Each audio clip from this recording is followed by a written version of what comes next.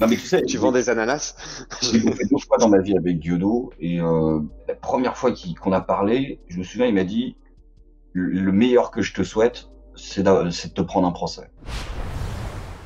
Est-ce que vous m'entendez? Bonsoir. Nous t'entendons. Tout à fait. 4 sur 5. J'ai foutu ma vieille webcam, donc euh, du coup c'est peut-être un son pas terrible. Un peu caverneux, mais on s'en contentera. L'émission interdit d'interdire, en fait, le, le problème c'est que ça s'est ça s'est retourné en bashing complet. Ah bon? Parce qu'en fait, on, est- on était trois à être euh, pour la liberté d'expression sur Internet face à un pauvre mec qui était, comme tu dis, complètement surréaliste et complètement paumé. Ouais. Mais le problème, c'est que ça devait être un débat 3 versus 3. Ah bon? Et que le mec, lui, il devait être épaulé par Marion Seclin et par euh, Alain Jakubowicz. Mais quel est le rapport de Et- Marion Seclin Bah, bah, qui, eux, défendaient le point de vue contre l'anonymat sur Internet. Ah, le harcèlement. ouais, c'est- Le problème, c'est que quand ils ont envoyé la veille la liste des invités, Jakubowicz a refusé de participer à l'émission. Et Marion Seclin a même pas daigné à répondre et elle a envoyé un SMS 10 minutes avant pour dire qu'elle avait autre chose à foutre. et on saura jamais qui elle aimait pas, mais euh, pour Jakubowicz, j'ai entendu dire qu'il avait eu une vraie urgence, euh, peut-être une vraie urgence euh, familiale ou autre, mais Seclin, euh, dès qu'elle est arrivée, qu'elle dit quoi, quoi, il n'y a, pas que des gens qui sont de mon avis, eh ben, elle, est, elle est pas passée. Elle a pas répondu en fait. Bah, Donc Elle du coup, le pauvre garçon, quand même dans une émission de TADI. Elle pouvait s'en douter dans une émission de TADI qu'il n'y aurait pas que des gens Ah d'accord oui, entre eux. qu'elle pouvait s'en douter. Du coup, moi, j'ai vraiment, même si j'aime pas du tout le, le, le mec, c'est un commissaire européen euh, qui est pour que euh, on puisse plus faire de la création sur YouTube. Donc le mec, c'est pas mon copain, mais j'ai eu de la peine pour lui parce que le pauvre, il s'est retrouvé en face du mec de la quadrature du net, Ouais. d'une avocate spécialisée dans la propriété intellectuelle et de moi qui pour faire les punchlines. Le pauvre garçon, j'ai- j'avais de la, j'ai vraiment eu de la pitié pour lui parce que même si tu l'aimes pas, il, il- il est tombé dans un traquenard malgré lui parce que parce qu'il devait être épaulé par bah, Jakubowicz qui est quand même un avocat aussi et euh, par une autre créatrice si tu veux. Il le problème c'est qu'il avait ouais. l'avocat opposé à lui, la créatrice opposée à lui et le mec de la quadra- quadrature du net qui le fact-checkait la gueule toutes les deux minutes le pauvre et il a, il a souffert quoi. Ouais, j'avais fait une petite compilation des meilleurs moments. J'avais fait une vidéo sur, euh, sur RT. Ouais, c'était plutôt univoque, quoi, ouais. Effectivement. Ah ouais, et même, et même Tadei qui essayait d'être neutre, tu sens bien que c'est plutôt un libertaire que euh, qu'autre chose. On voit d'où Ouais. il vient, quoi. Donc, euh, Pourtant, c'est vrai qu'il donne rarement son point de vue, mais il y avait des moments où il disait Bah non, vous pouvez pas dire que. Tu voyais qu'il voulait prendre part au débat, quoi. C'est. ah ouais, ouais, clairement. Clairement, clairement, tu vois que. Mais c'était dommage, parce que ça aurait pu être sympa, euh, une vraie émission avec euh, un gros plateau, quoi. Mais de toute façon, je crois qu'il a arrêté ça. C'est c'est dommage, parce que ça aurait- il y a beaucoup de gens qui pensaient que cette émission, ça allait être le, le reboot de, bah, de Ce soir ou jamais, ouais. mais RT a pas les moyens. Euh, Tu et- trouves pas que c'est le cas Surtout, euh, je crois pas l'envie de le faire, en fait. Parce qu'ils s'autocensurent beaucoup plus qu'on le dit, RT. hein. Je connais beaucoup de gens qui bossent là-bas. Je connais Jonathan euh, Moidab là-bas, mais il est que reporter, donc je sais pas si lui a, il a cette sensation. Il a, en tout cas, il, il en parle pas, mais. Moi, je connais quelques personnes qui sont à la, qui sont sur la ligne éditoriale, si tu veux, qui euh, font les recrutements pour les émissions, etc. Et, et c'est vrai que je balance pas de nom du coup, mais ouais, ils ils s'autocensurent un petit peu. Ils s'autocensurent. Bah, Et, J'imagine qu'ils vont d'ailleurs, RT Poutine, France, mais. quand tu compares la ligne de RT France par rapport à d'autres euh, RT, c'est un ami syrien qui m'a fait remarquer ça. C'est très intéressant parce que c'est pas la même. Tu vois, tu as des, t'as des conneries genre à J+, euh, ils ont à peu près la même ligne partout, tu vois. Spoutnik aussi, quelque part, mais euh, RT, euh, la ligne française d'RT est très très à contre-courant de, de beaucoup beaucoup d'autres lignes, de, de beaucoup d'autres RT en fait. Pourquoi les autres RT, ils ont plutôt quelle tendance euh, par rapport à la française? Je- alors, pas par rapport à ces sujets-là, mais par rapport à la politique internationale, par exemple, sur les questions, je peux pas te donner en détail, mais tu regardes sur les questions de la Syrie, par exemple, ils vont être un peu différents, si tu veux. Ils sont, ils, ils font un peu plus attention à la consensualité en France que euh, le font sur d'autres RT. Voilà. Mais après, je, ils vachement leurs mots. Ou... Mais moi, j'avais quand même l'impression que. Alors, il y a des trucs à reprocher à RT, comme à tous les médias qui sont de toute façon plus ou moins orientés. Celui-là, peut-être un peu plus que les autres. Mais que, quand même, TADI avait relativement carte blanche. Moi, c'est l'impression que j'avais en tout cas. Ah mais Tadi, fait ce qu'il veut. Tadi, en fait, si tu veux, euh, comme Tadi est là, c'est plus RT France, c'est euh, c'est chez lui, clairement. Le- Ouais, parce que c'est une caution pour eux de ouf. Hein. On va même être clair, le gros studio qu'ils ont, en fait, ils l'ont fait pour Tadi au départ. Il y a d'autres gens qui le prennent, mais il n'aurait pas eu Tadi, il l'aurait pas fait. Le, le Tadi fait vraiment, vraiment ce qu'il veut. Il, a, il fait vraiment ce qu'il veut, mais quand tu vois qu'après, ils ont recruté Et tant mieux, il C'était qui, le, coach euh, de TF1 là, le, le vieux là, insupportable, qu'ils ont sorti des années 90, euh, euh, je sais plus, euh, qui a son émission sur RT, mais qui est un mec vraiment, c'est du, c'est du apathie quoi. Enfin, c'est, c'est incroyable. Je sais plus son nom. Moi, tu sais, j'ai eu un entretien avec la directrice de RT France 1. Je lui ai proposé clé en main euh, une émission euh, avec, en gros, euh, on va pas se mentir, on va dire tous les youtubeurs euh, un peu réac euh, d'internet. Et comme dirait Soral, elle a fait prout. Hein.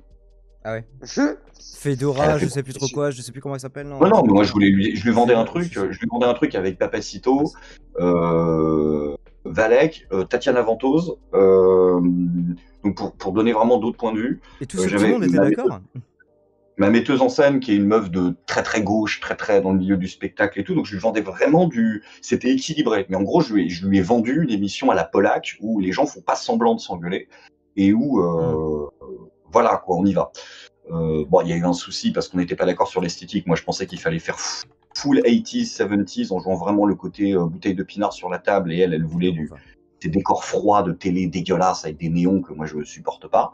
Moi, je voulais des canapes avec des, des vinyles de Renault, tu vois, je voulais vraiment jouer la carte à fond. Ouais. Mais au-delà de ça, euh, même en lui mettant euh, des gens de gauche euh, vraiment en face et tout, euh, non, non, elle a, elle a, elle a trop, trop peur des dérapages en fait, trop peur du. trop- C'était aussi l'époque où ils étaient très dans le Dans le viseur de. LRM. Mm. Oui, ils ils avaient, ils avaient euh, des accréditations qui avaient été refusées, etc. Ouais.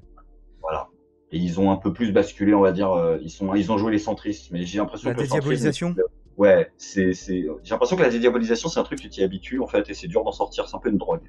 Et ils ont, ils, ils ont, ils ont fait ça. Puis euh, comment il s'appelle ce mec de TF1 ringard là? Jean-Marc Sylvestre. Je crois que c'est Jean-Marc Sylvestre qui est à, à RT. Bon, quand tu sors Jean-Marc, euh, je vais vérifier, mais quand tu sors Jean-Marc Sylvestre, euh, oui, il est sur RT, c'est ça, c'est Jean-Marc Sylvestre. Tu vois, c'est qu'est-ce que fout Jean-Marc Sylvestre dans le, le nouveau média euh, euh, qui veut miser sur les jeunes de droite euh, C'est mort. Pourquoi tu prends Je Jean-Marc vois Sylvestre Bismarck TV, moi. Qu'est-ce que tu penses de Sud Radio du coup? Parce qu'ils t'ont interviewé aussi avec Tatiana du coup. Hum, bonne question. bah, ouais. euh, bah, moi, je vais pas cracher dans la soupe des quasiment. Non mais sans cracher. Non, ça va forcément cracher dans la soupe, Ah, mais non, du coup, qu'est-ce que t'en penses? Parce qu'ils ont. Parce que moi je trouve qu'ils t'ont... ils ont vraiment laissé une liberté de ton. Ouais, ils ont laissé une liberté de ton. Et euh, bah, c'est Morio hein, qui m'a invité. Berkov, par exemple, euh, je dois probablement Ah, Berkov, pas c'est autre chose, oui. Mais euh, Morio, c'est déjà plus neutre que Berkov, politiquement. Ah, Berkoff, c'est. euh, Enfin, franchement, c'était. Là, pendant toute la période de la pandémie. adore, euh, Ah, c'était. Papacito, Ouais. a plus sa place, euh, Papacito a plus sa place chez Berkov que moi. Ouais, exactement. Ah, Ben chez Cigar, il pourrait y aller limite aussi. D'ailleurs, Berkoff, c'est une grosse évolution aussi, hein, parce qu'il a pas toujours été comme ça, en fait. Moi, j'ai retrouvé des vieilles Ah oui, émissions non, de, Berko, de, de Berkoff euh, de il y a 30 ans, et c'était pas du tout la, la même ligne. Puis même chez Hanouna, hein. il y a eu un temps chez Hanouna où Ah il bon était vachement plus calme quand Ah, même. je me Ah souvenais pas de ça. Invité ou chroniqueur? Un chroniqueur? Ah bon? Attends. J'ai l'impression qu'il a juste été Euh, invité, moi, mais je vois pas de Si, parce qu'il était dans Balance ton poste. Dans Balance ton poste, voilà. Ouais, mais il a été invité. Non, il était nouveau chroniqueur, mais ça a pas duré super longtemps en fait, je pense. Mais il a fait plusieurs émissions euh, quand même. Après, c'est vrai que Sud Radio, j'avais trouvé intéressant toi avec Tatiana, mais j'avais trouvé Tatiana vachement dur avec toi. J'ai eu l'impression qu'il était dur avec toi. Alors peut-être une impression, mais euh, bah, On n'est on est, on n'est pas, euh, on pas forcément euh, pote.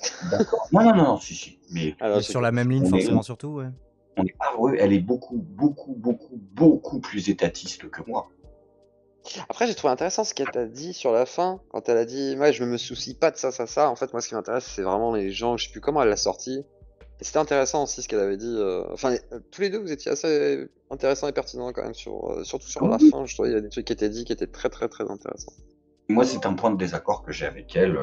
c'est qu'elle disait Oui, moi, je m'en fous de, de savoir si, euh, si euh, on est vraiment en démocratie ou pas. Moi, ce que je veux, c'est que les gens y bouffent. Moi, c'est un raisonnement que je comprends du point de vue humain. Euh, mais Oui, ça. point de vue politique, je suis pas forcément d'accord avec elle, donc elle pourra me reprocher d'être un peu trop euh, libérale. Et puis moi, je lui dirais que pour quelqu'un qui fait euh, beaucoup l'apologie de la Révolution française, c'est quand même un paradoxe de considérer que je suis trop libéral. Enfin, on- et on aura des discussions très intéressantes et ce sera très bien. Mais euh, voilà, il n'y a pas de. Mais c'est vrai que moi, je suis assez souvent énervé parce que c'est un truc que je reproche à chez très très souvent aux mecs de, de gauche. De la gauche que j'aime pas, tu sais, qui, qui nous tacle très très souvent. Je vois passer ce commentaire absolument partout que je trouve d'une misogynie absolument hallucinante et que j'ai dû voir 2000 fois, qui est euh, Tatiana Ventos, c'était bien, mais depuis que euh, elle côtoie Tabibian, euh, elle a viré vachement à droite. Comme si une femme n'était pas capable de. Et puis, elle t'a pas attendu pour quitter la gauche, hein. Sauf que par l'influence d'un homme, tu vois ce que je veux dire. Je Ouais, pas- c'est genre sous Mhm. influence, et ouais, c'est hyper méprisant, je trouve ça hyper sexiste en fait. Parce que, Moi, ce que je trouve bien maintenant, chez toi, là, t'as- tu fais des, des superbes. Enfin, maintenant, tu tacles un peu euh, tous ces gens euh, voilà, qui sont dans les deux extrêmes, entre guillemets. Et je trouve que c'est plutôt pas mal comment t'as repositionné un peu aussi tes, tes éditoriaux, on va dire, de, dans, dans, dans, dans ta façon de poser tes sketchs. Et je trouve ça plutôt pertinent, en fait, maintenant, quand tu, tu fais, alors, gens, euh, gens progressistes ou gens euh, fascistes, je sais pas quoi. Enfin, je sais plus comment tu le sors. Mais je trouve ça toujours pertinent maintenant, comment t'arrives un peu à remettre les, les buts à leur place par rapport à ta position aussi, et même les positions que, non pas que tu veux défendre, mais que t'essayes de mettre euh, en exergue par rapport à ça, ou par rapport au côté excentrique que ça représente. Après, c'est pas, c'est pas une volonté de tacler la gauche et la droite de façon équitable, Ah. c'est que j'aime pas les identitaires, il y en a des deux côtés. Les Voilà, fanatiques c'est ça que je veux dire. C'est des ça deux que je veux dire, c'est qu'avant, avant, je pense qu'ils ils croyaient vraiment que t'étais dans leur camp, qu'importe euh, le camp, et maintenant t'arrives un peu à, à toi repositionner les choses, j'ai l'impression. Enfin, je sais pas comment dire, c'est, mais en tout cas, moi je trouve qu'il y a une sorte de, t'as repensé, j'ai l'impression quand même ton format beaucoup, beaucoup, et j'ai l'impression que c'est un gros travail que t'as fait sur l'année qui est passée là. Mais, euh, mais en tous les cas, je trouve ça pertinent, c'est plutôt bien. J'essaie de donner un peu plus mon point de vue, puis c'est peut-être parce que je fais plus de live aussi, ça m'influence un peu peut-être aussi de, de plus prendre le temps de, de, de penser, même si euh, ça reste des formats humoristiques, euh, ça va varier en fait. Ah, moi, Il y a un truc que j'ai jamais compris en parlant de format, tu le, tu le fais un peu moins. Je, je- je dois être débile, j'ai jamais compris la différence entre je suis pas content et vive la France.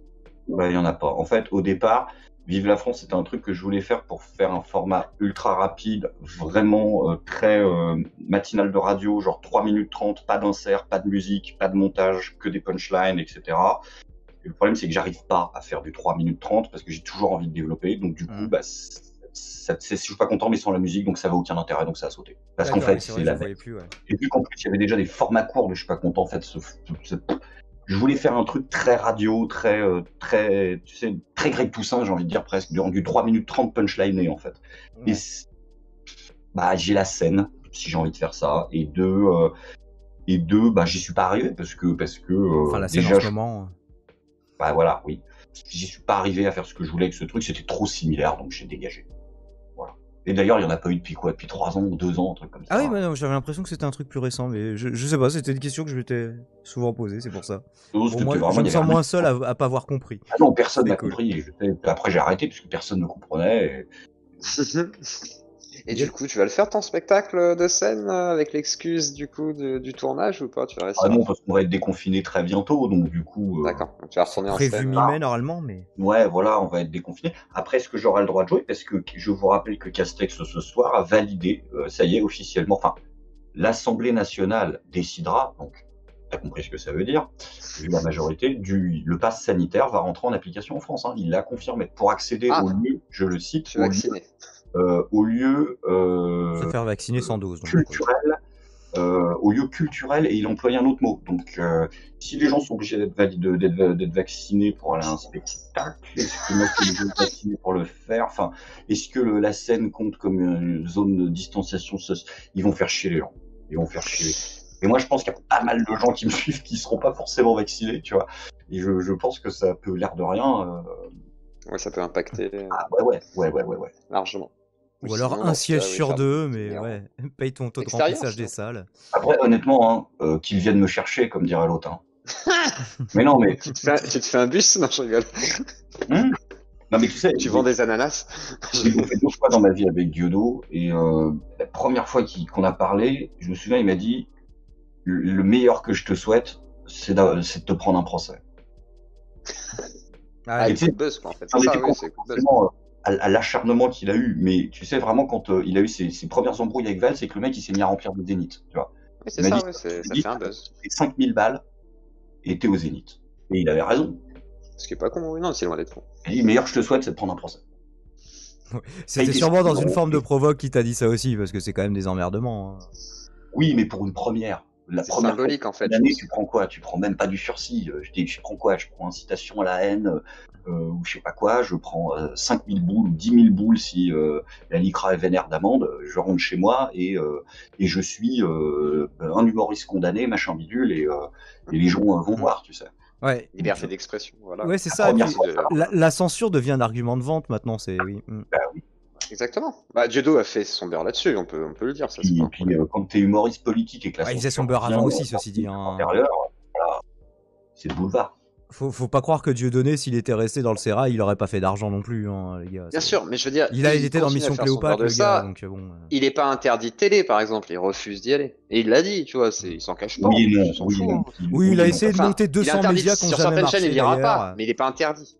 Oui et euh, je peux comprendre son point de vue parce que être interdit de télé, ok. Mais le truc, c'est que, ouais, il avait dit ça. Moi, je veux bien y aller à la télé, mais tout ce qu'on me propose, c'est des débats d'une heure sur est-ce que vous êtes antisémite, en fait. Donc, interdit de télé, ça veut dire quoi? Ça veut dire, est-ce que tu as le droit d'aller déconner euh, chez, euh, chez ton pote Ruquier? Est-ce que tu as le droit d'aller picoler chez Polak? Est-ce que tu as le droit de, tu vois, d'aller dans une émission de divertissement? Si ah, les seuls trucs qu'on lui propose, c'est des émissions d'une heure qui ne parlaient que de deux sujets. Un, est-ce que vous êtes toujours pote avec Elise Moon Et deux, est-ce que vous êtes antisémite Le mec, il en, il en, en fait, t'as pas envie d'y aller. C'est comme si, je sais pas, moi demain, on me propose que des, des, des, des émissions pour me demander si je suis de, de, de- d'extrême droite. Au bout d'un moment, ça va me casser les couilles, je vais pas y aller. Bah, c'est un peu comme chez Ardisson où il les avait réunis. Ça, il avait essayé de les réunir. en mode- Bah, oh, ils, ont, ils ont refait en fait Ça, plein de c'est violent, capsules ensemble, euh, Dieudonné et Elise Moon. euh. Je crois ils s'étaient retrouvés sur une télé québécoise aussi où ils se disaient ouais quand je vais rentrer en France je, je vais avoir des emmerdements. euh. Oui, oui. Bon ça date un peu ceci dit. hein. euh, le Le pire, c'est que-. Et euh, Semoun était venu le voir, et bien évidemment, dans la loge, ils se sont croisés, et ça a donné un mini-sketch de, de 10-15 minutes impro- totalement improvisé, et c'est là où tu vois qu'ils ont une complicité de jeu, ils se trouvent, ils se parlent pas l'un sur l'autre, ils se mettent Bah, tous ils les ont appris ensemble. C'est ouf. Ce qui est même triste pour, euh, pour Alice Moon, qui du coup, tu le sens seul. Enfin, moi, réellement, en fait, ça, c'est un truc qui est très bizarre quand on lui parle de Dieudonné, etc. Tu sens qu'il. C'est dur, en fait. c'est vraiment dur parce que c'était vraiment des potes, je pense, et qu'effectivement, comme tu dis, ils ont une putain de complicité. C'est vrai qu'ils sont capables même de faire semblant de s'entendre. euh, tu sais, dans le sketch avec Ardisson, finalement, c'est ce qu'ils font. hein. Ils font semblant de bien s'entendre et, et ils le font bien. Et, et c'est vrai que euh, moi, je pense qu'il y a une grosse cassure des deux côtés. Et puis, il y a- il y a le côté trahison télévisuelle qu'il y a eu avec euh, Ogiel à l'époque, quoi. Et c'est vrai que c'est tout ce qui s'est passé en fait a été un gros truc avec Dieudonné et Elissimon. Enfin moi je trouve ça assez triste en fait comme histoire finalement. Quand J'ai je vois une- les deux. J'ai j'ai une question à, justement à ce sujet à, à poser à Greg en tant qu'humoriste. Elise Moon, bonne interprète mais mauvais auteur Moi c'est l'impression que j'ai. Ça fait partie des mecs déjà qui ont des co-auteurs euh, importants, c'est-à-dire des gens qui dont le co-auteur a une part d'écriture euh, important. Il est meilleur interprète que, que auteur, oui, clairement, Euh, clairement. Parce que les petites annonces euh, c'était du Bosque aussi, tu vois, qui était beaucoup à l'écriture, il me Ouais. semble. Ah bah il y a des gens qui sont brillants comme ça. Enfin, je veux dire, euh, Muriel Robin, tout a été écrit par Pierre Palmade, donc euh, il y a des gens qui sont des génies de l'interprétation et si tu veux, Palmade après j'ai envie de dire, c'est le plus important parce que un mec qui t'écrit bien des vannes, tu peux en trouver un, mais être un- interprété bien, ça personne peut le faire à ta place. hein. Ah oui, c'est pas c'est pas du tout pour réduire la fonction d'interprète. Hein, Oui, oui, bien sûr, mais euh, non, non, il est pas, il est pas, il pas, pas incroyable. Il y a des mecs qui sont des monstres en écriture, par exemple, et qui sont très moyens en interprétation. Genre euh, Bernard Mabille, c'est complètement beauf, mais ce mec a écrit euh, des spectacles pour une trentaine d'humoristes dans sa vie. C'est une usine à pondre des, vannes, mais sur scène, il est d'un charisme douteux. Enfin, il récite.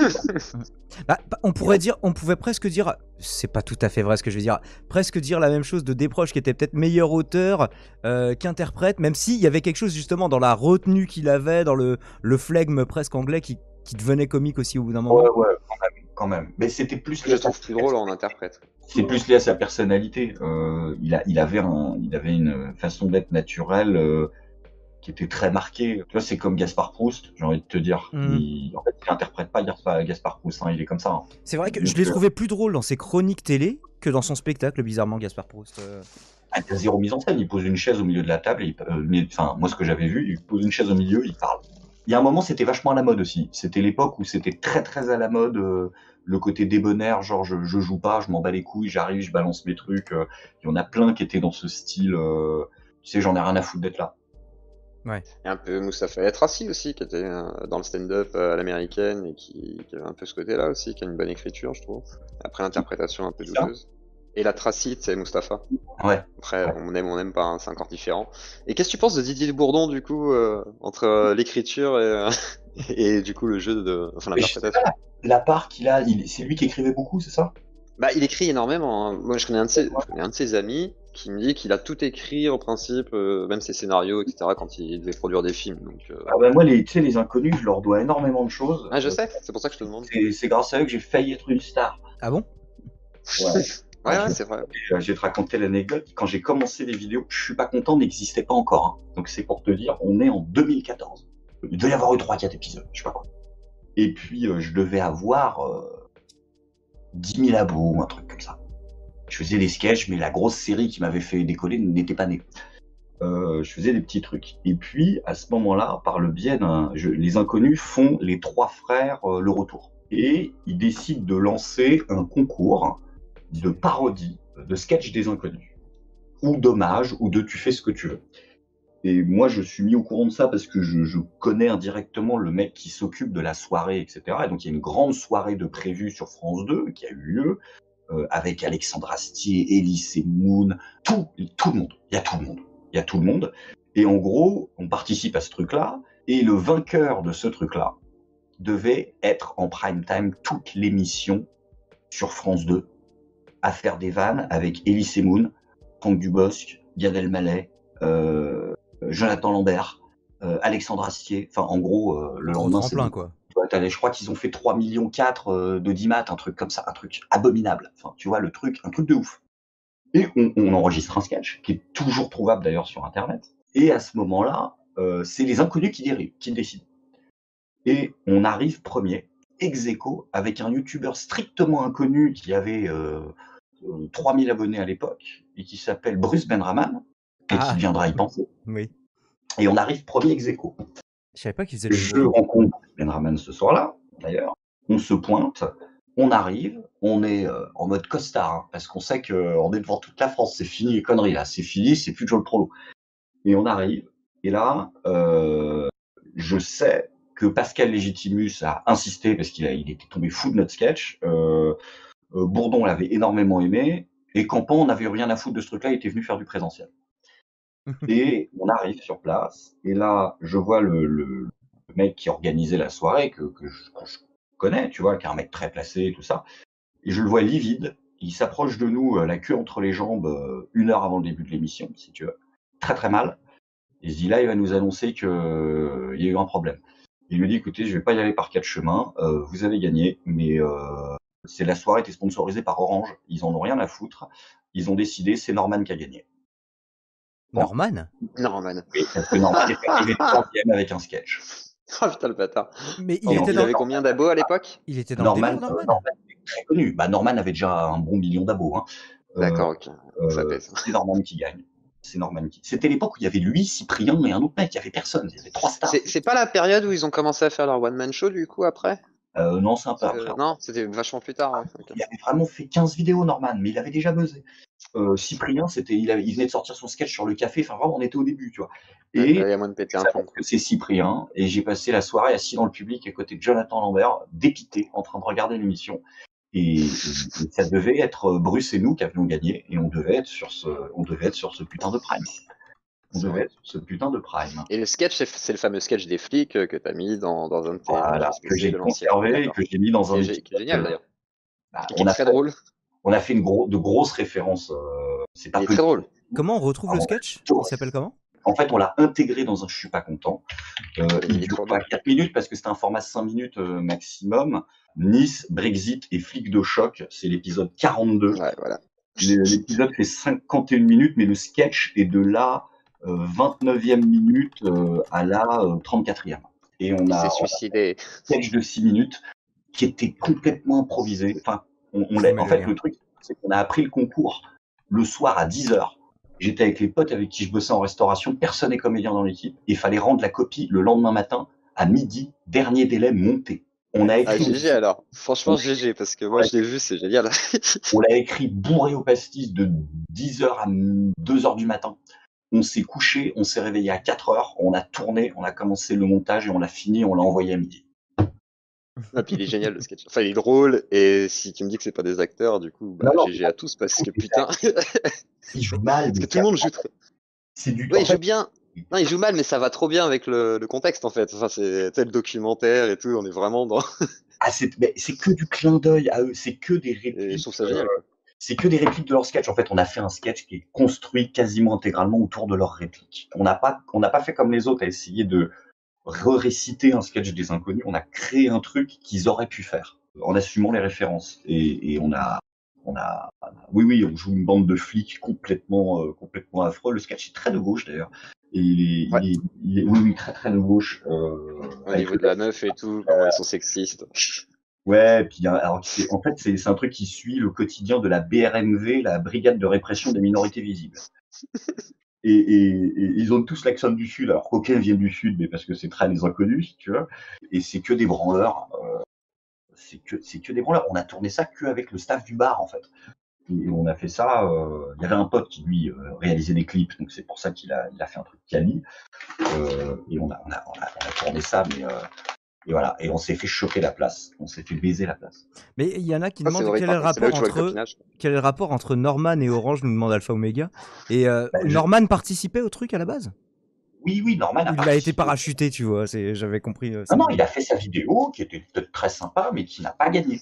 Ouais. Et Orange, bah, je sais pas, c'est un truc de, c'est un truc de, business. Orange, pareil, marketing, voilà. ouais. et ils veulent du branding, euh, ils veulent renvoyer vers des gens connus, ils veulent que ce soit, voilà, c'est des raisons commerciales. En fait, faut que ça profite à ceux qui rapportent aussi, quoi. Enfin, Et puis c'était débile parce que c'est pas sa génération en plus, à Norman. Il a, il a, il a 10 ans de moins que moi, le mec. Donc, en fait, ouais, mais il a pas grandi En avec fait- ses mecs. euh, Il y avait aucun dommage. Je suis sûr qu'il il a découvert, il a regardé les sketchs après avant de faire, le- tu sais, euh, il a regardé les sketchs pour faire son sketch. Il a, il a pas grandi avec les sketchs des inconnus. Ah, quand je sais il pas. avait- Il est trentenaire, hein, ceci dit. Norman, donc il a peut-être pu connaître. hein. Ouais, mais tu sens que son humour, effectivement, n'est pas porté là-dessus, quoi. Déjà, moi, les, les sketchs, je les regardais euh, avec mes parents, j'avais 10 piges. euh. Ah, je sais pas, Non, c'est quelque resté des classiques, côté- ceci dit. Attends, c'était Et puis il y a un côté horrible en fait euh, dans cette histoire, parce que c'est vraiment le copinage de de ce qu'il c'est rapporte face. euh. euh, Je suis sûr qu'il a fait aucun pressing, le mec. Hein. Attention, hein. Ah non lui, non mais lui il a rien dû faire, c'est juste qu'il a un million d'abos. quoi. Mm. Ah, c'est, c'est à Et que ça pèse ouais. C'est, et c'est Orange. Et c'était pour quelle émission, ça? C'était.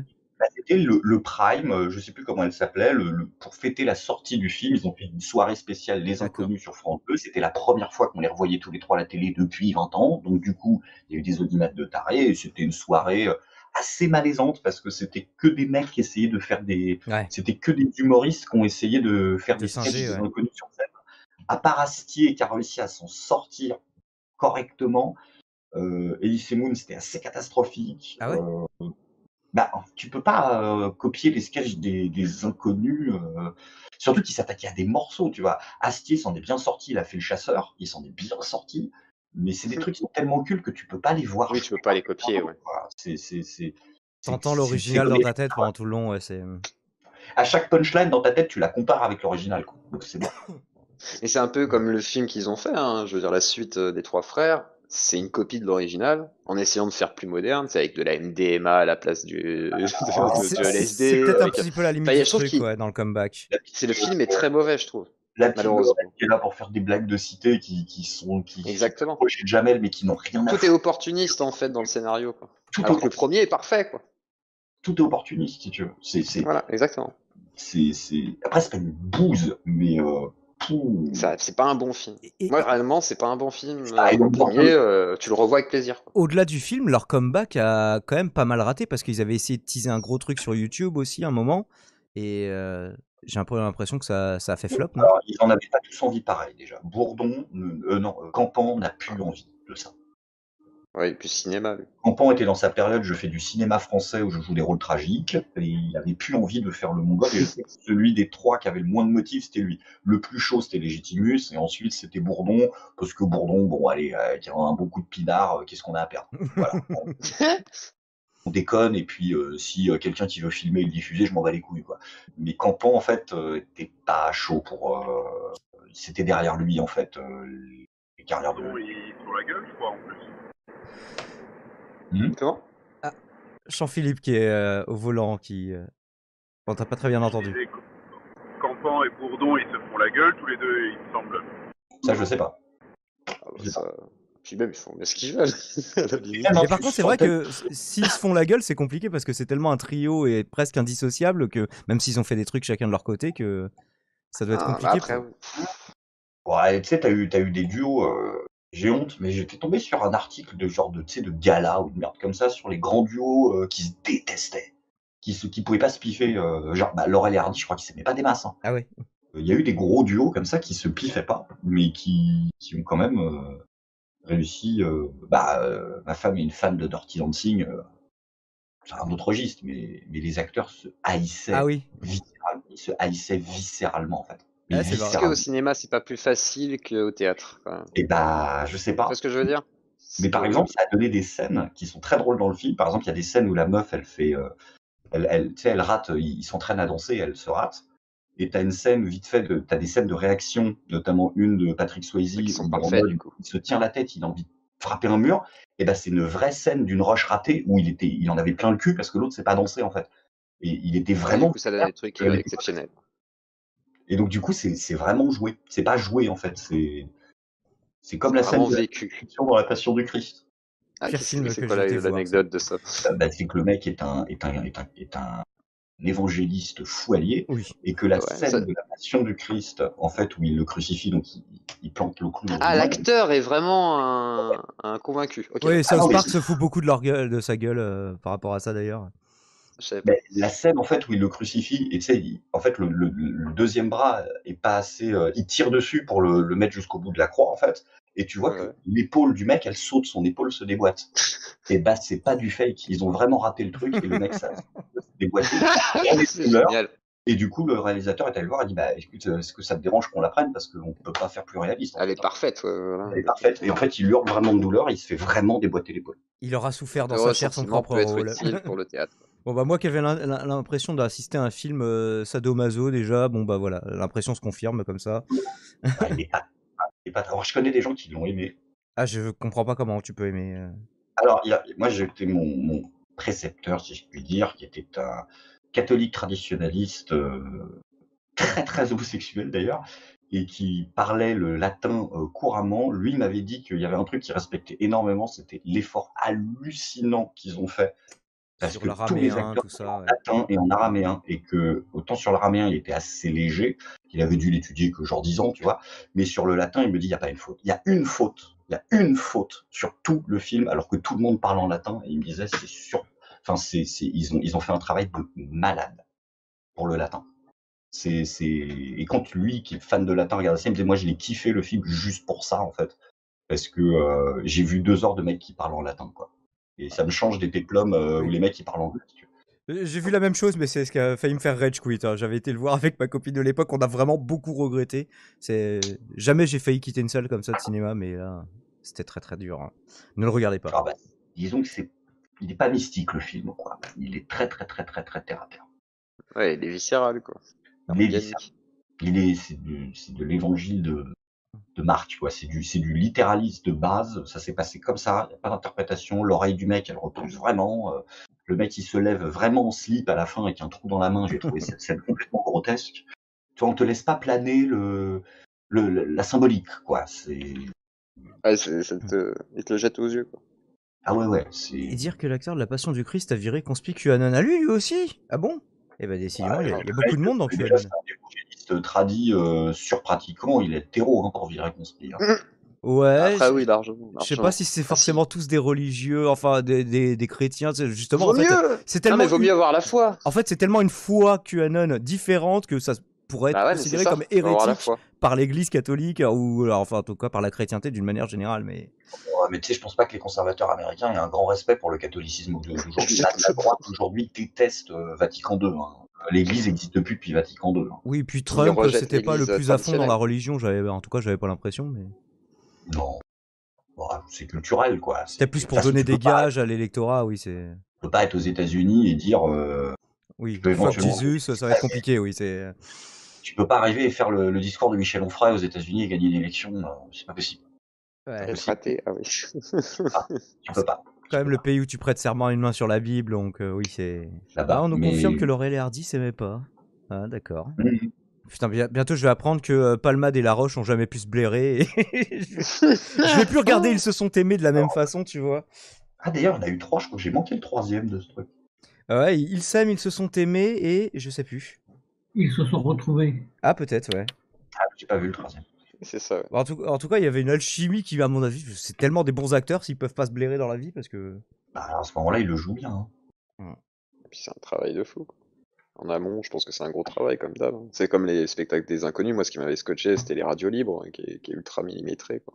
Ouais, les radios libres, ouais, c'est clair qu'il était timé de ouf parce Il que est à chaque fois le changement de radio et puis même le pour les mecs l'erreur. pour les mecs qui font le son et la lumière aussi, enfin tout était timé, euh, oui, ils ont dû le répéter de ouf. Ce euh, sketch est impressionnant. Et pas Ce juste sketch entre eux, est hein. ultra impressionnant.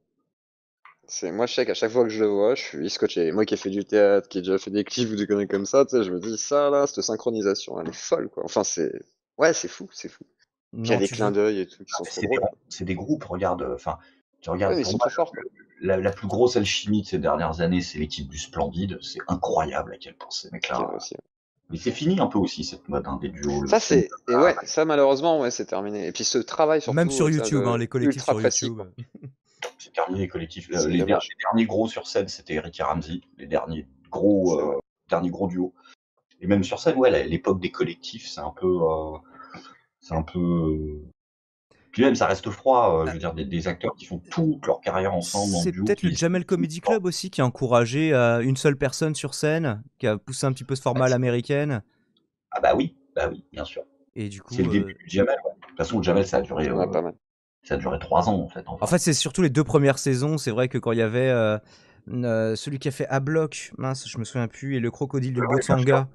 Ah, je me souviens plus de son nom. Il y avait Ah, Fabrice euh, Eboué, Njijol. Njijol. Thomas Njijol, ouais.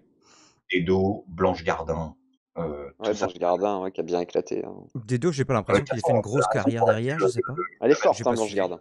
Ouais, c'était le début. C'était c'était le début en fait, mais euh, au-delà de la saison euh, 3, le Jamel Comedy Club, c'est une arnaque en fait. Mm. Ce n'est plus une émission qui fait percer des jeunes talents. C'est que des mecs qui ont déjà percé, que tu connais. Il n'y a Ouais, plus un inconnu au Jamel Comedy Club. Ah ouais? Tu vois, des Non. Farid, des trucs comme ça. ouais. Tu- en fait, tous les mecs que tu vois, il n'y a plus personne euh, après la deuxième saison qui a été C'est les copains après. par Jamel. Quoi. Et ça, c'est parce qu'il y a eu une embrouille. euh, c'est parce qu'en fait, les, les trois premières saisons, c'est un monsieur qui s'appelle Kader Aoun qui fait le recrutement. Et puis après, c'est Jamel tout seul qui le fait. Parce qu'ils sont embrouillés comme des, comme des poissonniers. Et que donc, du coup, Kader Aoun, qui, est un, qui a beaucoup de défauts, mais qui est quand même le meilleur recruteur de talent euh, du point de vue du fric. Hein, genre, pour sentir le fric chez un mec, c'est c'est clair. Et ils ont eu un désaccord euh, monstrueux avec Jamel. Artistique, hein. Et Kader Aoun s'est barré. Et après, bah, c'est devenu une émission de- d'invitage de, guests, quoi. Mais plus, euh, c'était plus un, c'était plus un plateau de, de lancement. Euh, J'avais l'impression aussi que les participants des premières saisons euh, avaient l'air d'être un peu vent debout contre euh, finalement le Jamel Comedy Club une fois qu'ils en étaient partis. Notamment Njijol et Eboué. euh. Ils pas. je pense.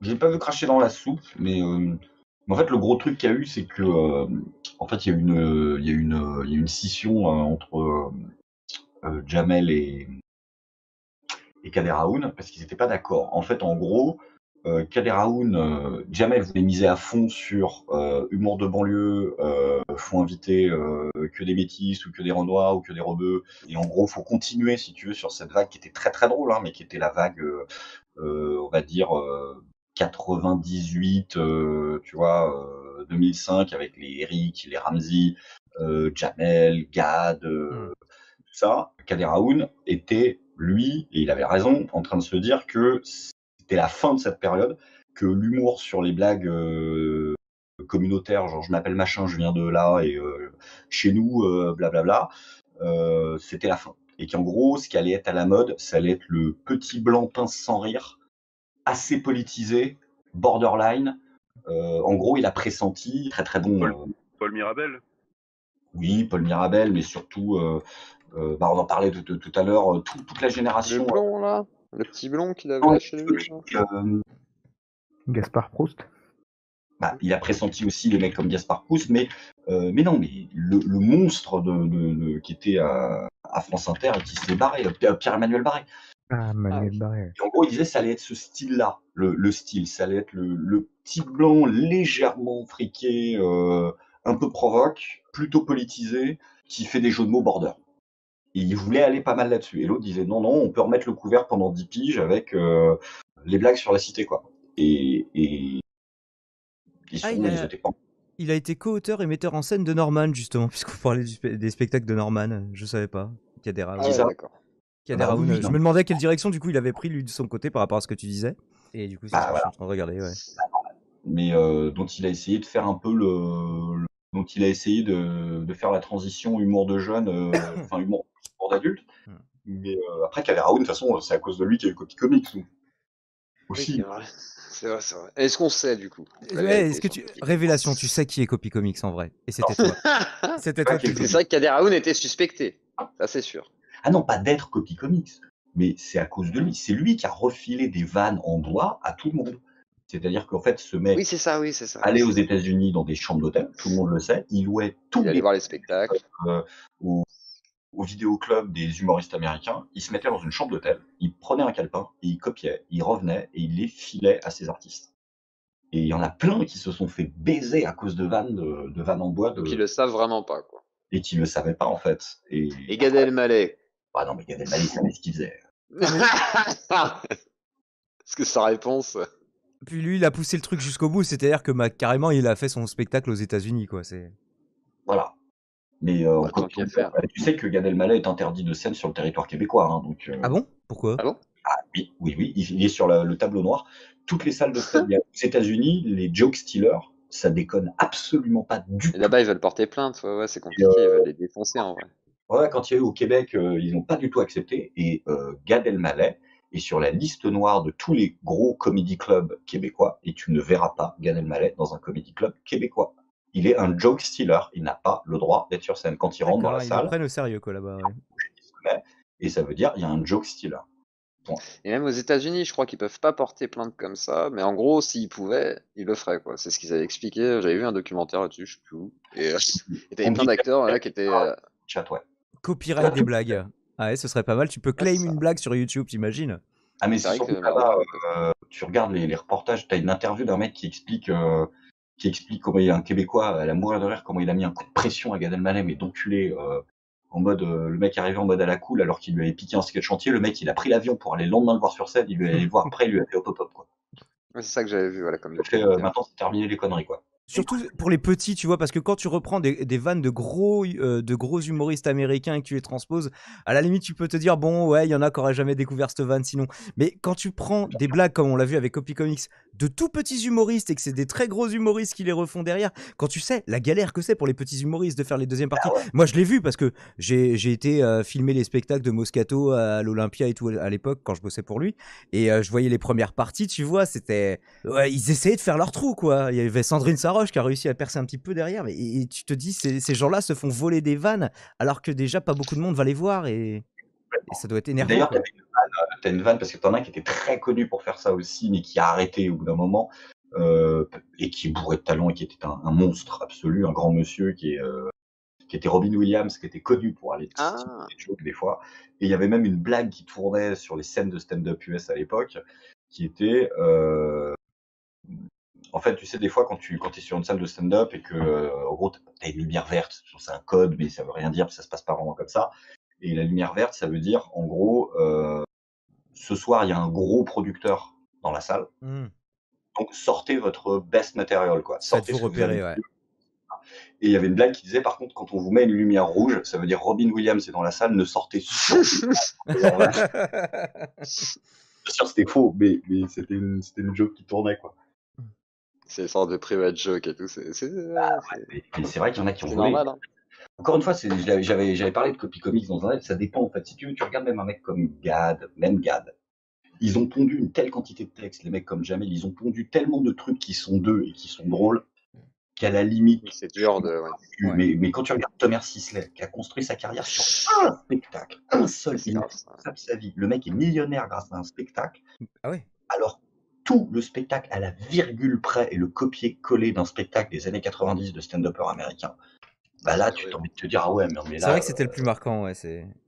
là c'est, c'est, c'est emmerdant parce Et que. puis moi, je l'avais vu le spectacle de Thomas Surtout- Sisley, je l'avais bien aimé. En plus, ça m'a énervé, quoi. ouais. Euh, J'allais, j'allais dire justement qu'en plus Thomas Sisley n'est pas un méga acteur, tu vois, contrairement à un Dupontel, moi où j'avais vu son spectacle qui était excellent, et c'est vraiment pas les mêmes euh, approches. Quoi. Et c'est là où tu te dis oui, effectivement, si les mecs volent pour faire leur carrière, c'est ça qui est dramatique, parce que ça fait deux de grands acteurs français, soi-disant. Thomas Sisley, on Mhm. l'a vu partout après. du, quoi. du Pontel, il a copié Non, non, du tout, non, non, mais je veux dire, c'est là où je veux dire, entre un mec qui travaille et qui aura pas la même visibilité qu'un mec, euh, voilà, Dupontel, il est encore vu comme un marginal, tu vois, alors que Thomas Sisley, c'est un mec du système maintenant, quoi. Il a fait des go-face, machin et tout, des gros films. Enfin, Ouais. C'est pas les mêmes, c'est pas les mêmes moyens, c'est pas les mêmes, euh, c'est pas les mêmes investissements. C'est voilà, c'est ça qui est marrant. Quoi. Même par exemple, tu sais, euh, il y a beaucoup de gens qui savent pas pourquoi est-ce que euh, Gad Elmaleh et, et Arthur se sont pas parlé pendant 5 ans. Tu n'as, n'a pas été invité dans les émissions d'Arthur pendant plus de 5 ans. Alors que c'était son grand pote. Et euh, en off, il y a pas mal de gens qui le savent. C'est parce que un jour, euh, c'était quand... euh, alors, il est nul, hein, son spectacle, mais quand Arthur préparait son premier one-man show, euh, il prenait l'avion avec Gad Elmaleh, et un jour, il est arrivé, et il lui dit dans l'avion, écoute, est-ce que tu peux prendre un service? Là, on en a pour... on a pour 6 heures pour aller aux États-Unis, on se fait chier. Est-ce que tu veux pas jeter un coup d'œil à ce que j'ai fait? Parce que bon, voilà, je débute. en gros, est-ce que tu me donnes ton avis? Et Gad Elmaleh a fait ouais, ouais, ok. Il lui a lu son truc, il lui a rendu, il a dit ça, je ferai ça, ça, je ferai ça, etc. Et euh, une semaine après, t'avais une dizaine de vannes de Arthur qui étaient dans son script qui sont passées dans le spectacle de Gad Elmaleh. Et il lui a piqué euh, tout ce qui était bon. Il a fait ses courses en fait pendant son. Parce que. Arthur était, était aussi connu, oui, c'est pour. euh, ouais, quand il s'est lancé dans l'humour, ça n'avait pas trop, trop marché. auteurs, et- Arthur. Il a tellement bidé le pauvre, c'est horrible. Il a bidé, ouais. Il a bidé, bidé, bidé. euh, Ah, il a marché comme producteur, on peut pas tout avoir, hein, c'est. Ah, là, il galère maintenant avec ses trucs de zombies et tout. Il dérive. Le pire sketch de l'histoire, ça reste quand même pour moi le sketch de Crystal Canals, mais je pense que tout le monde le connaît. quoi. Crystal Vous Canal. avez jamais vu ça? Non. Putain, tu regardes Crystal Canals, elle, c'est une meuf, elle est dans une émission, elle prend un, elle- elle- ça se voit qu'elle est en stress, donc elle surjoue. Et en fait, c'est super malaisant parce que le sketch doit durer genre 5 minutes et tu n'as pas un rire. C'est une salle qui ne fait, qui ne rit pas. Et en fait, chaque vanne est un malaise. Et je sais, je l'avais, je l'avais montré à ma femme, elle, elle- elle a coupé la vidéo. Elle pouvait pas, tu te sens trop mal quand Ouais. tu vois. Trop d'empathie, tu peux pas, ouais, c'est. Tu peux pas en fait, Je parce que tu te sens pas bien. Parce que du coup, elle essaie de rire de ses vannes pour essayer d'attirer les gens, et ça ne marche pas non plus. Et là, c'est la- c'est le cercle vicieux. Euh, et puis après, elle se met à rater toutes ses chutes. Tu vois qu'elle a envie de- d'aller hyper vite pour que ça s'arrête. Et, tiens, j'ai une question à te poser sur les comics. C'est que j'ai remarqué qu'il y a beaucoup de comics qui sont un peu comme ça. Et comment ils survivent du coup? Qu'est-ce qui fait que dans le système ils peuvent survivre? Qui, qui consomme leurs trucs Genre des Ines Reg, des machins, enfin tous ces nouveaux artistes en fait qui sont pas Euh, drôles, euh, qu'on met sur scène, qui ne font pas rire. Ouais. Et qui continuent en fait à, à être mis en avant, voire à tourner dans des films ou des trucs comme ça. Enfin, c'est quoi là C'est quoi qui se passe? C'est juste du, du poids de l'influenceur C'est Bah non, mais. Inès Reg, elle est pas humoriste. Inès Reg, elle est influenceuse. Voilà. ouais, ça je suis bien d'accord. Euh, enfin, après, tu sais que j'ai des- j'ai vu une semaine avant sa vidéo qui a buzzé euh, des paillettes dans les yeux. Je l'ai Ah vue dans une scène ouverte. Elle était monstrueuse. Elle était super et personne la connaissait. Et une semaine après, la vidéo buzz et je fais, c'est pas vrai. J'étais allé en- voir un spectacle avec ma, ma copine. C'est une scène ouverte. Donc elle est du théâtre. Bah non, non, elle, elle vient du stand-up. Elle faisait des bonnes blagues. Ah, D'accord. C'était mieux sur scène. Et puis euh, après, bah, ça a donné son truc. Bah, Inès Reg, elle survit bien. Elle vient de faire un film sur Netflix, hein, je te rappelle. Oui, je Moi, sais, je sais, je sais. je l'ai vu, c'est Et elle très fait un truc là. Jamais Et elle fait aussi une sorte de pseudo-télé-réalité là où il faut pas rire, tu sais, je sais pas quoi, là, de Prime, euh, c'est sur Prime Vidéo, je crois. Mais je pense que ça va passer, Inès Reg. C'est pas, c'est un buzz. C'est un buzz. Oui, Mais- c'est un buzz. oui, Mais, mais je parle pas forcément que d'elle, tu vois, j'en ai vu d'autres là, euh, j'aurais pas des noms, parce que ils m'ont pas marqué au niveau de, de leur nom du coup, mais j'ai remarqué qu'il y, a un- il y a un peu ce phénomène d'artistes qu'on voit beaucoup, qui sont peu drôles, alors que t'as des très bons artistes, hein, moi Blanche Gardin, je la trouve très pertinente, etc., et plutôt très Monsieur drôle. Mais c'est vrai que... On la voit beaucoup, je garde un. Oui, on la voit beaucoup. hein. Oui, voilà. Tu me dis non parce qu'il y a d'autres Ah, artistes. ah. euh, Non, après, j'ai j'ai dit qu'il y en a certains qu'on voit, qui... bah, même tu, tu prends Bellatar, alors Bellatar, on peut penser ce qu'on veut, moi j'arrive pas à le trouver drôle. Non. Et tu vois, et il y en a plein des comme lui en fait. J'ai ou- trouvé, son clash avec Jean en fait. Messia drôle, ou euh, le sketch qu'il en a fait Moi, drôle, mais bon. Le meilleur, pas c'est son, c'est son, c'est son débat avec Eric Zemmour. Parce qu'il arrive quand même à faire l'exploit que même si t'aimes pas Zemmour, tu, tu, trouves, tu, tu, tu, tu, tu, tu te dis à- tu te mets à aimer Zemmour.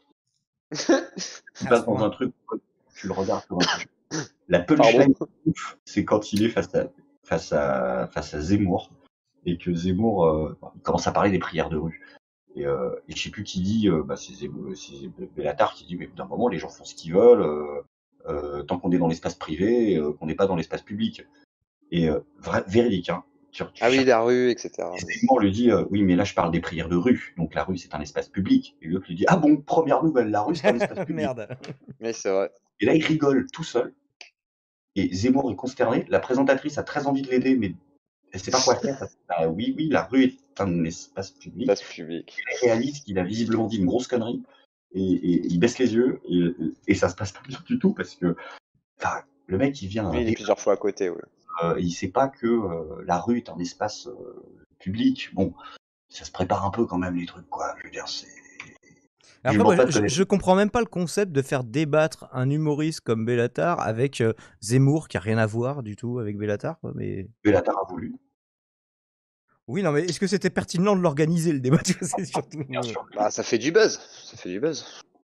Bah, bien sûr que non. Mais euh, c'est dans la tradition française d'avoir des, des grands humoristes politisés, mais là, c'est pas le cas. Moi, je pense qu'un débat des proches Zemmour aurait pu être très intéressant, mais un débat Bellatar Zemmour. Après, le problème, c'est que même Bellatar, Jean Messia, moi, j'ai trouvé ça déplorable parce que c'est plus de l'invective, etc. L'animalisation de Jean Messia, est-ce que c'est nécessaire, tu vois, le pauvre. Enfin, moi, je pense qu'on peut le tacler sans même en arriver là, en Oui, fait. bah, on- on avait fait une Bellatar, vidéo je sais sur pas, c'est un chroniqueur TPMP, hein, de toute façon. C'est là que Mais tu vois, je veux dire, il dit vous êtes raciste, euh, vous avez une tête de dromadaire. Bon, dans la même phrase, il y a un problème, quoi. Enfin, tu vois. Exactement. De chameau. Et je veux dire, dans ce cas-là, tu vois, tu peux pas. Dans ce cas-là, tu vois, euh, Teddy, il est, il est Oui, au niveau bah, de c'est ce que j'avais dit. Rappelle-toi, Tu vois ce que je j'avais veux dire? j'a- j'avais Eh j'avais oui, dit non, que mais je sais. C'est pour ça que je dis ça. copyright, Teddy Boy RSA normalement la veine du chameau. Exactement. Mais sauf que euh, si, si jamais on, on va voir Teddy, on va dire que c'est un putain de facho, alors que bah, Bellatar, euh, c'est un antifa normalement. Et c'est là où Ah, moi j'avais été cohérent, j'avais trouvé que c'était mauvais dans les deux cas, mais bon. Ah oui, non, c'est c'est mauvais, mais ce que je veux dire par là, c'est que forcément, il y aura un deux poids, deux mesures. Après, bien entendu, il ne pèse pas des millions d'abonnés, mais euh, euh, Teddy, mais à côté de ça, c'est voilà, il y a un deux poids, deux mesures qui n'est pas compréhensible et qu'un Bellatar puisse dire ça, bah non, ça devrait être sanctionné euh, aussi en fait. Et non, là, c'est applaudi, effectivement. Oui, Hanouna a ah, un moi, problème avec j'ai- ça d'ailleurs. hein. j'ai- beau ne, ne pas pouvoir saquer euh, idéologiquement euh, Messia, non, déjà tu l'attaques sur sa gueule, et puis bon, pour lui dire que c'est un chameau, bon bah super. Ouais, à quel Surtout niveau qu'il y a on est quoi, facilement moyen de. Il y a, y y beaucoup de choses auxquelles s'attaquer dans le discours de Jean Messia, pour- sans parler de sa gueule, quoi. C'est bon, bref. Non, mais Bellatar, il sait rien dire d'autre que vous avez une tête de dromadaire et euh, la jeunesse emmerde le Front National. Donc, à part sortir une punchline télé, euh, Comme diraient les berruriers. ah, donc, euh, Ah, J'avais trouvé drôle son débrief justement de l'histoire avec Jean Messia. C'est quand après il a été monté sur scène pour en parler et il avait euh, bah, sûrement, euh, sûrement bien euh, étoffé par rapport à la réalité pour exagérer certains trucs et tout, tu vois. Euh, romancé, c'est le mot que je cherche depuis tout à l'heure. Et euh, mais euh, du coup, j'avais trou- euh, j'avais trouvé ça plus drôle que l'échange réel entre deux, eux deux, qui était effectivement plutôt pathétique. Mais Tu vois, Bellatar, c'est exactement l'exemple typique du gars qui peut faire du mal à une communauté parce que, tu sais, il veut représenter, entre guillemets et tout, et t'es là, tu fais, non, non, va pas par là, va pas par là, s'il te plaît, non, pas par là non plus, c'est une mauvaise idée, quoi. Les, les rues, c'est public, non, non, Bah Alors que dis pas ça. il y a eu une parodie de Parce que Jean moi, je suis à moitié rebeu, tu vois, donc quand je vois un gars comme lui, je me dis, merde, vas-y, vas-y. Je, je sais plus d'ailleurs, il y, en avait un qui s'était fait virer pour le sketch où ils avaient fait euh, une parodie de l'heure des pros, l'heure des pronos, euh, je crois, Oui. avec euh, quelqu'un qui, euh, qui euh, parodiait Jean Messia, quoi. Et, euh, et- et j'avais trouvé ça plutôt réussi. Je vais essayer de vous le retrouver, euh, l'heure des pronos, quoi. Oui, ça lui a coûté sa place. c'est Sébastien Toen qui a été viré. C'est ça. Avec euh, Lionel Messia et Michel Sindou. Voilà, je, je vous partage ça sur le chat si vous voulez le regarder. Et spon- spon- fait C'était par- mignon, sur la chaîne de. Winamax, du coup. Putain, c'est. Winamax, ils sont malins. hein. Moi, je, je suis contre les jeux d'argent, mais ils sont vraiment malins dans leurs sponsors. hein. J'avais une question pour Greg, moi, Oui. pour une fois que euh, je dis là. T'en es où alors? Parce qu'à cause de toi, je suis inscrit à la newsletter de Laurent Geoffrin. Je voulais savoir où t'en étais du phagocytage Ouais, de. Général. Ben ouais, euh. c'est à Laurent Geoffrin maintenant, de- on lui a donné les clés, euh, il a un vrai parti pour le Quand il faut que il aille jusqu'au bout de la démarche, euh, qui, qui se pré- qui se présente et qui nous fasse vibrer, euh, Lolo. Ah, bah, je, je reçois des mails, hein, toujours. Ah, merde. Et non, Ah, si, on peut se désabonner. Pour l'anecdote, en fait, c'était que Laurent Geoffrin a créé son parti. Il a fait une semaine où il était sur tous les plateaux de télé et le mec avec quatre, quatre passages sur BFM, trois sur iTélé, enfin la complète, si tu veux, comme dirait l'autre. Euh, il a combien? Je crois qu'il a 300 inscrits à son parti politique. Et là, on se dit, Et même mine de rien, il faut l'aider, euh, il faut l'aider, Lolo. Et donc, du coup, j'ai dit dans un live, allez vous inscrire chez Laurent Geoffrin. Et du coup, maintenant, il est passé de 300 à 3000. Sauf qu'il y a 2700 mecs qui viennent de chez Voilà, hein. Vaut mieux lui conseiller de mettre une photo de petit chat, tu vois, un peu plus franchement, il est à fond. Hein. Le, dernier mail, il date de mercredi dernier. Il s'intitule euh, Les coupables boomers. Tu vois, euh, Ah, il est le mec, il est à fond. Ah, hein. il s'est planté, oui, oui, il s'est fait niquer d'ailleurs. Il s'est fait un peu niquer. Les gens ont taclé Car- Car- Mark Fly- euh, McFly et Carlito en même temps qu'ils ont taclé Geoffrin euh, pour euh, dire que sa com était à chier. Après, tu peux te désinscrire hein, si jamais tu sens qu'il a Oui, aucune chance de gagner les présidentielles, mais. euh, Mais en fait, moi, j'ai fait ça parce que je voulais voir si après le mec, qui est quand même une saloperie inouïe, a- aurait eu le culot de dire sur les plateaux de télé, nous sommes déjà 3000. Le truc, c'est qu'il passe pas à la télé. Pas chez lui, tu vois. en plus, les mecs qui sont allés faire un truc comme ça, en général, c'est les mecs de JVC, c'est vraiment des trolls, en fait, qui, qui sont allés perdre du temps à s'inscrire chez leur jeu. Et- et donc, La preuve. moi, ça me faisait rire d'avoir un, un candidat euh, dont la moitié du programme politique se limite à lutter contre la haine et l'extrême droite, avoir euh, 90% de son parti qui est composé de mecs de JVC, ça me faisait mourir de rire. Mais, C'est ouais, toujours marrant. mais Faudrait qu'il invite, faudrait qu'il fasse un meeting en fait. Quoi. Je, je pense Ah bah que les alors, images euh, pourraient être drôles, oui. C'est. Mm. Geoffroy est salarié de CNews, il se fait victimiser par Pascal Pro, c'est limite violent. Ah oui, je ne savais pas. Je, je t'avoue que je ne regarde pas CNews, mais je savais pas qu'il faisait la pluie et le beau temps là-bas. Mais moi, j'ai plus tout l'impression que Pascal Pro en ce moment, c'est le mec euh, dont à peu près tout le monde se fout. D'ailleurs, au-delà des clivages politiques, hein, j'entends des mecs de droite qui se foutent de sa gueule aussi. hein, mais... sur le Ah, coup. tout le monde se fout, mais euh, Hanouna, lui, on parle de lui, il tacle, mais ils se taclent ensemble, après ils s'appellent. Je sais Ah, pas bah, si tout le monde s'en fout. hein. Il y a une sorte de, de gros. Il a un gros aura quand même, pro, hein, maintenant. Il a plus d'aura qu'avant, je pense. hein. est-ce qu'il, ouais, il dépassera pas Hanouna parce qu'il n'a pas la figure. euh, ah non, non, non, il pourra pas. Mais il essaie de s'en rapprocher, t'as vu, il a- ils se sont fait un petit appel, je sais pas si t'avais vu ça. Ah non non, mais euh, pro, euh, moi je l'aime pas, mais c'est quand même un des exemples de reconversion professionnelle. euh, Il est fort, hein, à ce niveau-là. ouais. Bourdin aussi, il, il a une carrière aussi un peu dans le même genre où à la base il est plus de journaliste Ouais, sportif euh, et finalement aujourd'hui plus rien à voir. La France veut savoir. La France veut savoir. Ouais. Alors, euh, Dioclo, euh, la France voudrait savoir quand vous reprendrez vos vidéos. Non, je sais pas l'imiter. Eh ben, Jules la semaine prochaine, euh, cher ami. La vraie question c'est euh, qui, qui c'est qui va ressusciter les guignols? Il manque quand même. Oh, ça me manque pas. C'est vrai, ça te manque pas? Non, mais pas les guignols euh, Bah, c'est que fini, c'était devenu c'est à, la fin, mais. Non, mais l'esprit non, des mais de fait, et compagnie. Non, c'est fait. Non, parce que parce que Tu y peux le faire sur YouTube, ça. Fini. Bah, autre chose.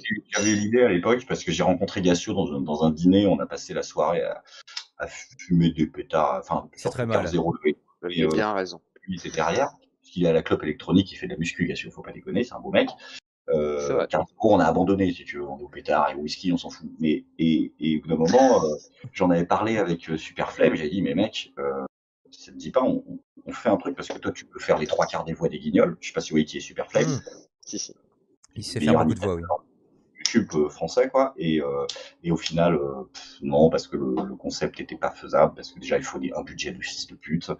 Et Non, tu le fais avec des dessins. Tu fais les imitations, mais tu mets des dessins à la place et t'écris des chroniques tous les Ah, jours. c'est du gros boulot quand même. Faut un dessinateur, un imitateur, un auteur. Et à- à- déjà avec ça, tu Un peux faire un truc de ouf.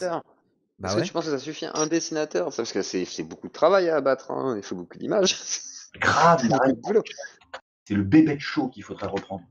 Ah, mais bête chose serait pas mal. Tu vois, Ce limite, serait serait tout aussi dur à reprendre. Euh. Ouais, Ah, c'est facile à représenter. C'était des, des- c'était des vieilles, euh, tu sais, c'était des vieilles peluches pourries, euh, avec des tiges sur les bras qui étaient visibles, hein. C'était quand même, euh, C'est vrai que les marionnettes budget. en latex des guignols écoutaient bonbon, paraît-il.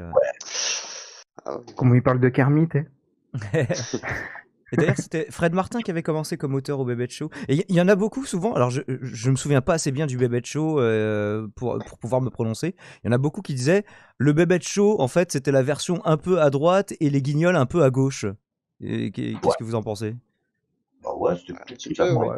c'est Avec les petits vieux, avec euh, Kermit Mitterrand, t'avais pas mal de trucs. Ouais, non, c'était assez intéressant. Après, il y avait un...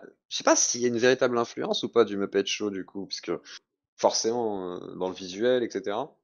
Et après, je sais pas à quel point euh, il y a un impact. quoi. pareil, parce que Bébé de Show, c'était un format où c'était que des mecs autour d'un bistrot, alors que déjà, le, le- les Guignols, c'était une C'était parodie de JT, ouais. Mm. Exactement, ouais. Bébé de Show, ils étaient tous autour d'une table de bistrot à discuter, avec Roucas qui, qui était pas en marionnette, du coup, et...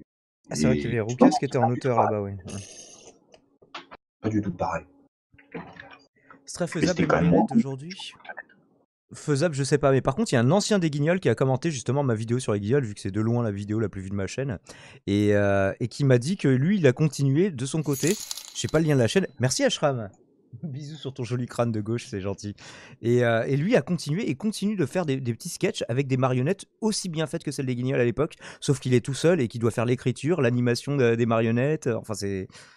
Tu peux pas faire ça tout seul, quoi. C'est ça le problème. C'est lui qu'il faut contacter si tu Ah. veux relancer le concept. Il y, a- il y a Usul qui voulait ressusciter euh, euh, les Guignols, mais du coup, je pense que c'est un peu mort pour que tu fasses ça avec, euh, avec Usul, Greg.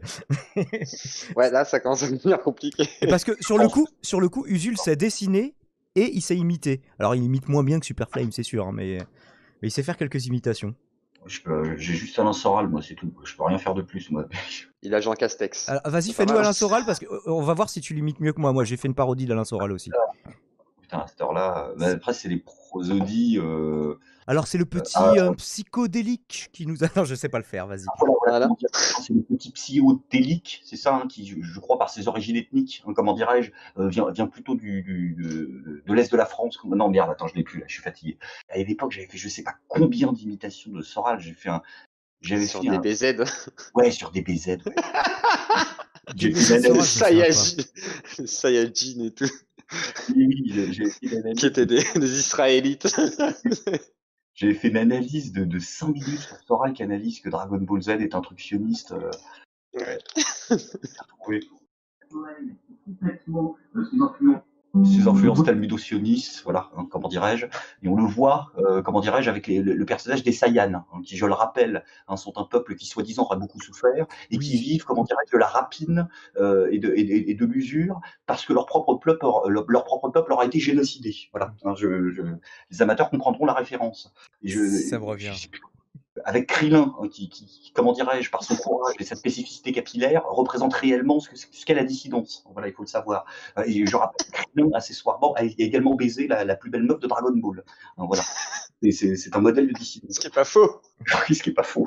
Je sais plus ce que j'avais dit. Et, et- et je rappellerai d'ailleurs que le dieu de la terre est, comment dirais-je, Piccolo, hein, c'est-à-dire une race qui n'a pas de sexe, hein, voilà, et qui, je le rappelle, est un enfant de 17 ans. Parce qu'il faut, il faut rappeler que dans Dragon Ball, euh, Piccolo a 17 ans factuellement. C'est vrai qu'il est est très très jeune en fait, Piccolo. Et, euh, et sais plus comment j'avais dit le truc. Donc voilà, le dieu de la terre pour la Toei Animation, et comment dirais-je, un exogène transsexuel euh, de 17 ans. Ça il faut le savoir. Et, euh, et je sais plus quand j'étais parti en couille euh, sur le fait que c'était un Travelo, Piccolo, enfin bon, un truc. Bah non, les, les Namek n'ont pas de sexe. Et voilà, non, non, mais Pas dans la bouche de c'est n'importe quoi. Et qui pondent des œufs, voilà. Qui pondent des œufs. C'est vrai que c'est un concept un peu bizarre, les Namek, oui. c'est... Non, mais après, je vais être triste parce que j'adore ce personnage et bref. Il Après, c'est c'est vrai que malheureusement, le personnage est très drôle. Partout, tout ça. Après, c'est la dérive qu'il y a eu. Ah, c'est mais- vrai que même le niveau U- U- zéro est un moment euh, exceptionnel. Tu, tu- tu veux dire Soral est un personnage drôle? Bah, c'est c'est dans, dans sa folie, il est drôle. Mm. hein. Dans Mais- sa folie. Usul, Usul même, Ah, même Usul le reconnaissait. Il disait euh, Soral, il est très drôle, mot pour mot, sur Radio Usul à Mais oui. l'époque. c'est un monstre de la punchline. Enfin, il, il est C'est ça le pire. Oui, en mais en fait, c'est- c'est à, à la fin, à tel point que je me disais, mais en fait, euh, il faut plus qu'il aille à la main d'or que rester sur son canapé, en fait. C'est. euh, Il y passait du temps, mais Oui. pas sur scène. Ah, mais il y a des punchlines de Soral qui sont inoubliables. Le coup de, de il, a pété, je l'ai entendu faire prout, il aurait pu faire caca. Mm. il a pété. Ouais, même quand il reçoit les journalistes. Bon, il n'y a pas grand chose derrière de les punchlines de Soral, malheureusement, mais. Tu, tu, tu tapes les compilations de punchlines d'Alain Soral sur Oui, il y en Internet. a, il y en a plein sur Internet, oui, effectivement. Tu sais, quand il veut faire, quand il fait sa, tu sais, son, son meeting euh, et qui, qui, et qui parle de la. D'ailleurs, c'est intéressant qu'il en parle de, de la racialisation du travail en France et qui commence à hurler, il s'énerve. Le destin des Noirs de banlieue n'est pas de jouer du djembé, n'est pas de jouer du tam-tam. Cette phrase, le destin des Noirs de banlieue n'est pas de taper sur un tam-tam. Et là, tout le monde fait ouais. et tout. Puis avec, avec, avec sa euh, façon légèrement bourgeoise de le dire en plus. Totalement. Moi, j'aimerais bien pouvoir aujourd'hui me marier avec plusieurs femmes, parce que évidemment, j'ai beaucoup de demandes à cause de mon physique et de ma popularité. Euh, La modestie incarnée, Soral, toujours. Je l'ai le tambour. c'est comme les, les noirs qui font du jump day. Les mecs qui sont nés en France, euh, au, au- comment dire, euh, au conservatoire municipal, et après on a joué du piano. Il y a quand même, quels sont les plus grands virtuoses de piano du XXe siècle? Les jazzman, non? Hein, Voilà, hein, et tout. Euh, voilà. Et ben non, les mecs ils font du jump day. T'es un nègre, tu feras du tambour. C'est-à-dire, les mecs ils ont jamais vu l'Afrique. Ça, c'est du racisme intégral, vous voyez Il y a toujours un cours écofiste pour que vous soyez un atelier de Trump Day pour les Noirs en banlieue. Le destin des Noirs de banlieue, c'est de... à c'est pas de faire du Trump Day. Hein Euh, Quand, je pense que ce mec-là, quand même, créé Farid Abdelgoul et tout ce truc-là, c'est pas Mais rien. Est-ce qu'il a, con- rapide, est-ce qu'il a conscience que les gens rient de lui en fait euh, Ah, mais oui Et pas je forcément pense. avec lui en fait euh. Il en rit, mais quand tu le vois en interview, tu vois que ça l'agace même. Donc c'est assez bizarre en fait. Euh, Je pense que. Enfin, je pense que oui, moi. Je sais pas, mais je sais pas ce que t'en penses, Greg. Ouais, je, je Ouais, pense je qu'il se prend au premier degré. Comment? Mais C'est très, c'est très, c'est très ambivalent parce que sans toute la culture web qui le trouve méga drôle, genre JVC, il explose pas autant, mais d'un autre côté, ça le fait chier quand il est limité à son rôle de, de punchliner. Mais, mais bon, euh, Ah, Si Soral était un film, ce serait un nanar, on est d'accord? bah, il a fait des films. Ouais, c'était ouais l'adaptation de Sociologie du dragueur, qui était peut-être son seul bon bouquin en vrai, mais euh, quand il avait appelé Confession d'un dragueur, je crois. Ah, il a fait Ouais. ouais. sociologie du dragueur et ouais, sûrement confession du dragueur. de la chute, euh. Il aurait pu écrire. Il aurait pu écrire 99 francs aussi. Hein. c'est- On est pas très loin, quoi. Même il le dit lui-même, il, est pas, il aime pas les romans, il aime pas, il aime pas en lire, il aime pas en écrire. Donc, euh, Bah pourtant il a commencé par un roman. Enfin c'était finalement une autobiographie quoi, euh, vie d'un Ah, vaurien, je sais pas trop quoi. il a commencé dans la pub Michoco. Puis il sera pas un paradoxe près, quoi. Et La pub coup? Oui, alors tu tapes publicité Michoco à lance orale. Regarde-toi ça, ça dure 20 secondes, c'est un jingle. Michoco. Michoco à lance orale.